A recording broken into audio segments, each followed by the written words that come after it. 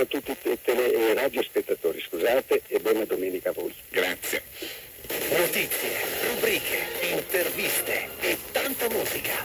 La tua radio italiana in Svizzera. Radio Lora Italiana. Accendi la tua domenica.